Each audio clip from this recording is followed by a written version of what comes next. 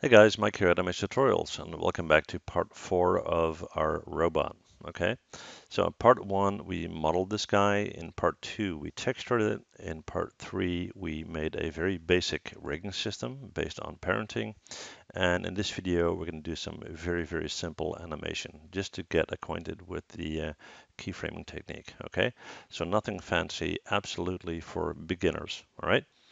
Okay, so we have our controls and we'll just run through them one more time. So if we take this ground control and we hit W, we can move our entire robot. Okay, if we take this control over here and we hit E to rotate, we can move that leg. Take that one, we can move that leg. Take this little control up here, will allow us to move the arm this one will allow us to move the other arm. And the one up here will allow us to move the head like so. All right. All right. So like I said, really, really basic. Okay. So let's start with some animation. Now, um, the robot in itself is not going to move in the initial frame. What we're going to do is we're going to have our robot kind of turn his head and look, you know, to the right and to the left. Okay. Now you need to keep in mind that you need to be aware of timing. So if the robot is going to look to the right and to the left and is going to do all of that in one second, he's probably going to break his neck, right? So you need to kind of calculate how much time do you want to spend on turning the right uh, the head to the right and to the left. So let's say it takes two seconds to look to the right and then two seconds to move back to the left. Okay. One second of animation is roughly 24 frames. So we would have approximately, let's say, 50 frames to look to the right, and then another 50 frames to switch back and look to the left. Okay, so what we're going to do first is we're going to take our control for our head, and we're on frame one, and we're going to hit S on our keyboard to keyframe that initial position. Okay, and then we're going to move our slider to frame 50, and that's where we want to end up with our head looking to the right. Okay, so on frame 50, we're going to pull the control over to this side, and you can see that the Y value here is changing. Okay, now when you're happy with that position, you're going to right click and go to set key. All right, then we're going to move further to frame 100 and we're going to take that control again. And let's move it over that way. Okay. And again, you see this value changing. So right click and set key. So now if we scrub back through our animation line and we hit play, you can see that our robot is moving its head up and down. And even still, you can still see it's fairly quick, right? Now, um, a question that I get a lot is when you're animating the head and you have the sequence going on, can you keyframe in between for different elements? Of course you can, okay? So let's say at the same time that he's moving his head, he's gonna move his arm, okay? So we'll take this little control up here. And again, on keyframe one, we're gonna keyframe it. So we're gonna hit S on our keyboard, okay? Now, I only want the arm to move forward on frame 50 and go back to its position on frame 100, okay? So we're gonna scroll to frame 50, like so. We're gonna take the arm and we're gonna move that forward to that position. And you can see that this value has changed. So right click set key.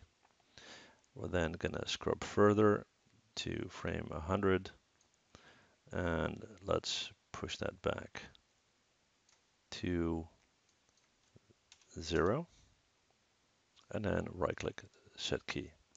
So now if we go back to our starting position, you can see that the head is moving and the arm is moving. Okay. All right, let's go back. Now, while all of that is happening, we want the entire robot to move forward slightly. Okay, so we're going to select our main control. We're going to make sure that we're in frame one. We're going to hit S to keyframe that. And we want the entire robot to move forward uh, until let's say frame 50. Okay, so we're going to go to frame 50. We're going to hit W on our keyboard and we're going to move just slightly move our robot forward. Okay. Now you can see if you look at the value that has changed, it's the translate value on Z up here. Okay. So we're going to click on that, right click and set key. Now if you go back to frame one and we hit play, you can see the head's moving, the arm's moving, and the body itself is moving, okay? Let's go back to frame one. We want the other arm to move as well. Now what we'll do there is we'll select that control, make sure we're on frame one. We're gonna hit S and we're gonna keyframe that. And by frame 50, so we're gonna scroll out to frame 50, we want that arm to go backwards. Okay, so we're going to hit E. And let's move that to, let's say about there. Okay, we're going to right click and set key. We're going to go back to frame one. So now both arms should move. Okay, now you see that this arm is going back to its original position. The second one is not. So we're going to stop, we're going to go back, we're going to scrub, and at frame 50, that arm is right there. So we want it to go back to its uh, original position by frame 100. Okay, so let's take that control. We're going to move to frame 100. We're going to hit E to rotate. We already did that. And let's bring that guy back to zero. And then right click and set key. So now both arms should move as we hit play. And you can see that they're moving and are coming back to their original position. Okay. All right, now for the legs. The legs, that's a bit tricky uh, for the reason that we don't have any knee joints. So that's going to look somewhat awkward, but that's just the model we have right now. So we'll have to work with that. Okay. Now, as the arm moves forward, you kind of want the legs to move in the opposite direction. Okay. So when the right arm moves forward, the uh, right leg should move backward. Okay. So what we're going to do is we're going to focus on this guy right here and on frame one we're going to hit S to set a key, and then we're going to scrub to frame 50. And on frame 50, we want this leg to rotate backwards, just slightly. Okay, so that's this value right here. Right click, set key. Okay, and then we're to scrub back to frame one. And let's see, the other arm, okay, the other arm is going backward, so that leg should go forward. So we're to take the control for this guy and we're to go to frame one. We're to set a key. We're to scrub to frame 50. And we're going to move that leg forward somewhat. Not too much, okay?